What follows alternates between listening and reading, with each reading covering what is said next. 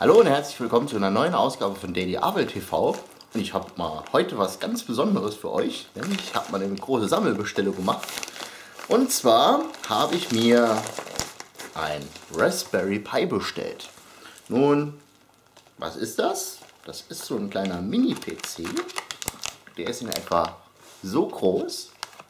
Der hat alle möglichen Anschlüsse, sei es jetzt sagen wir mal hier zwei USB-Anschlüsse, ein Ethernet-Kabel, ein HDMI-Anschluss oder für ganz alte so ein, so ein Chin-Stecker. Und damit kann man ziemlich viele Sachen machen.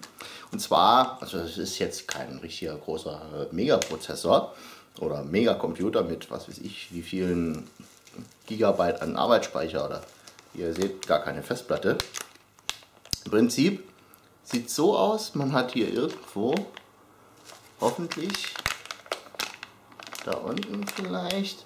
Ein SD-Kartenschlitz und da steckt man dann quasi sein äh, Betriebssystem rein und kann dann das Ding entsprechend mit allen möglichen Sachen ausstatten. Sei es jetzt ähm, mit so einem richtig kleinen USB-Adapter so einen kleinen Mini-WLAN-Adapter. Oder, was ich mir auch irgendwie bestellt habe, hier eine, eine Kamera. Die sieht dann so aus.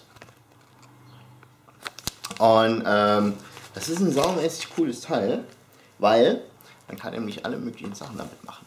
Und zwar, man kann zum Beispiel daraus eine Art Überwachungskamera bauen, deshalb die Kamera. Das heißt, äh, stellt die sich irgendwo hin und äh, drückt dann automatisch den Ablöser alle paar Sekunden, wenn dann irgendeiner vorbeikommen sollte und das wird dann irgendwo dann gespeichert, zum Beispiel auf der SD-Karte. Oder man kann zum Beispiel einen äh, WLAN-Server, ähm, einen Tor-Server draus machen. Tor ist im Moment äh, relativ äh, wieder im Gespräch, weil äh, durch die ganze NSA-Geschichte will natürlich jeder verschlüsselt irgendwo ins Internet gehen, ohne dass dann irgendeiner mithört von der NSA. Hallo NSA zum Beispiel, haha, hallo, wie ich äh, sage hier nur schöne Sachen über euch und äh, ihr seid die Besten und die Tollsten und ja. Also wenn ihr irgendwas übers Internet verschicken wollt, ohne dass die NSA was mitkriegt, dann könnt ihr vielleicht mit so einem Raspberry Pi was anstellen.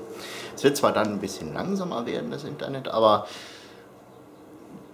es sollte dann wesentlich äh, abhörsicherer sein.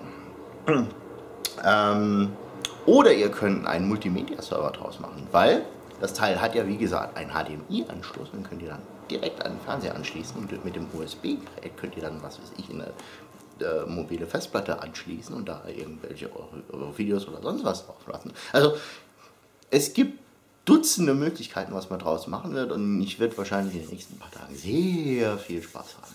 Also äh, ich werde mich da schon richtig drauf freuen und vielleicht mache ich dann auch das eine oder andere Video darüber, was dann jetzt wirklich daraus geworden ist. Und das will ich dann euch äh, hoffentlich mal zeigen in einem der kommenden Videos.